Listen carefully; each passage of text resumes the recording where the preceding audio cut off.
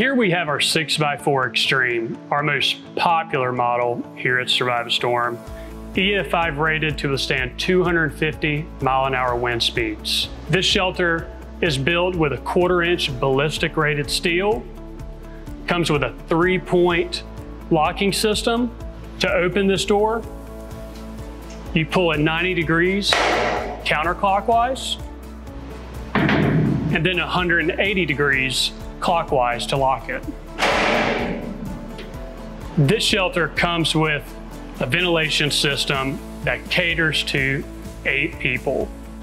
All of our shelters come equipped with a conduit so that if you have uh, a backup generator, would like to run power to your shelter, your shelter is able to cater those needs. The shelter also supply, is supplied with an ADA compliant in-swing door.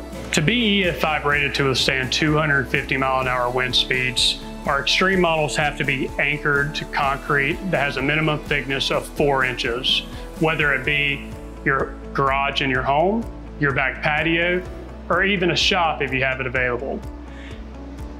There are 3 8 anchors that drive four inches into your concrete. They're wedged anchor bolts that run the perimeter within the machined holes in the flange. All of our extreme models come with a ventilation system that acts as an emergency escape hatch as well as the ventilation.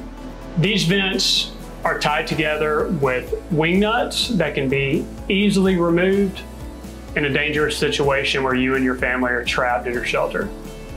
This shelter comes equipped with a storage bench for you to hold emergency supplies like private documents, a weather radio, and maybe even a first aid kit.